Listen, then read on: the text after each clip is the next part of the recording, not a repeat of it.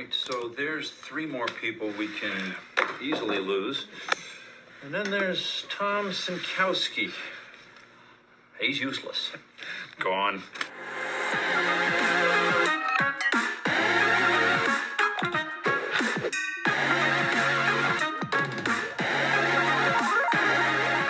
Welcome back, y'all. How's everybody doing out there in WBB land? We are back with another video. And today we're talking about the coaching carousel that has taken over free agency. Since the end of the regular season, which was only five and a half weeks ago, we have seen an unprecedented number of head coach firings. Step into my office.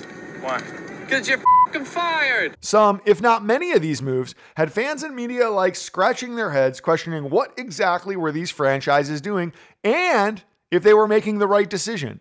In today's video, we will take it to the only place that can truly decide the WNBA Now Court of Appeals. Court is in no way fictional. All rulings are final. Appeals, of course, will be heard in the comment section of this video. The WNBA Now Court of Appeals guarantees verdicts to be delivered swiftly, and this court promises to rule on whether these firings were fair or foul.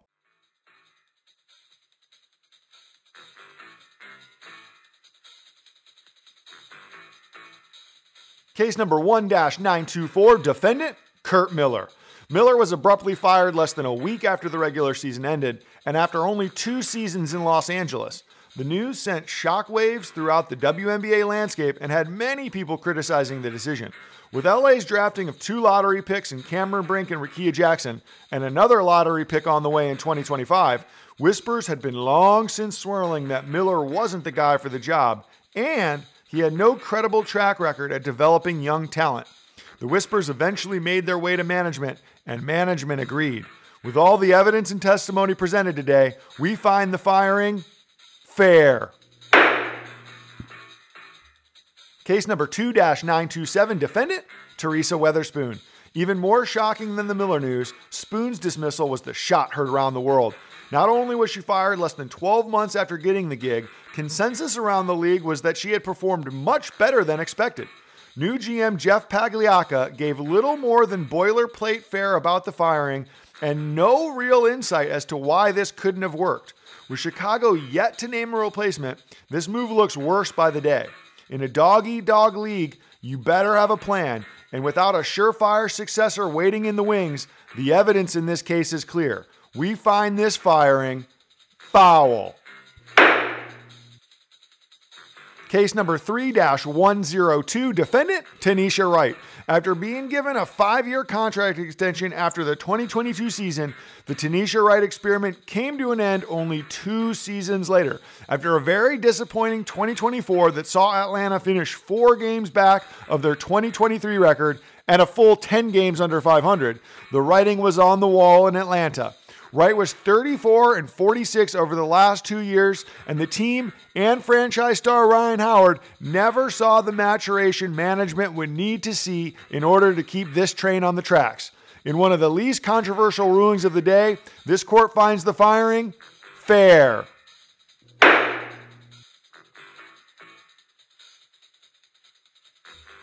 Case number 4 1018, defendant Latricia Trammell. After only two seasons in Dallas, LT was relieved of duties in another surprising dismissal. There was no doubt disappointment after the regression from the 22 and 18 semifinal team from 2023, but I think Trammell was a casualty of expectations. The media was projecting this team to be right back in the thick of it this year, seemingly not even considering their best player and 25 year old wonderkin, Satou Sabally, would be sidelined for the first 25 games of the season. Add Natasha Howard missing another 11 games and Arike Ogunbowale's playstyle, this was certainly the recipe for the very type of season we witnessed.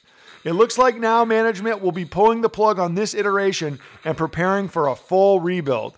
After a long, thorough, and difficult review of the evidence, we find this firing fair.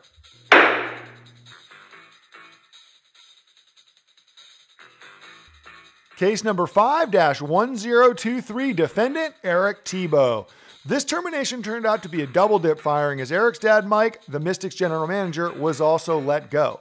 This news hit the WNBA community hard as the Thibault family has long been synonymous with the Mystics organization. In fact, it was only six years ago that Mike brought a title to DC as head coach.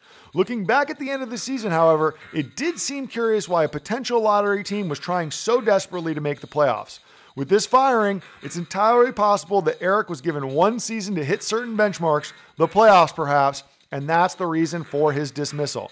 Regardless of ownership's official line, like many teams this offseason, it looks like DC is hitting the hard reset and looking to buy new. We rule this firing fair.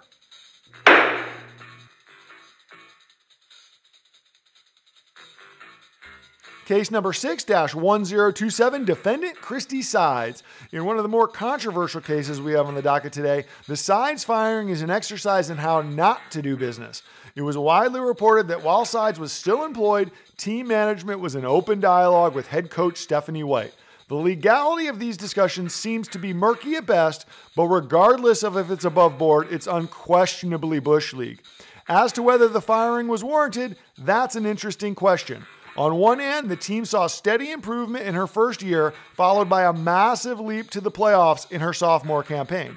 Some will argue, of course, this was due in large part to the addition of superstar point guard, first team All WNBA Rookie of the Year Caitlin Clark.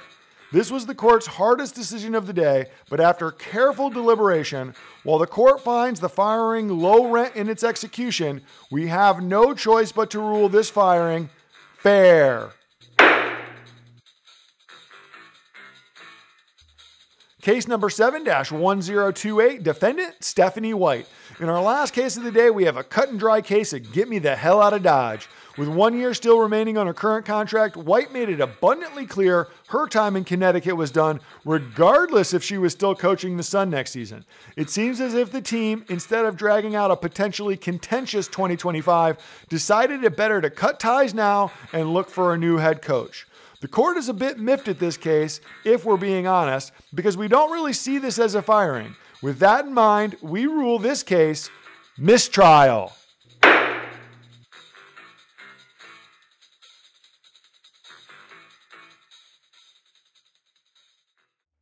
And there you have it, folks. Seven coaches hit the waiver wire, and we're not even in November. It's going to be fascinating to see who goes where and when. As I mentioned at the top, send your appeals in the comment section. Let me know what judgments you think this court got wrong. And if you're so inclined, you can find an in depth podcast covering all the coaching vacancies, leading candidates, and implications of what this could signal with the league's growth on the WNBA Now YouTube page. But on the real, thanks for watching. Like, share, and hey, hit that subscribe button. It's free.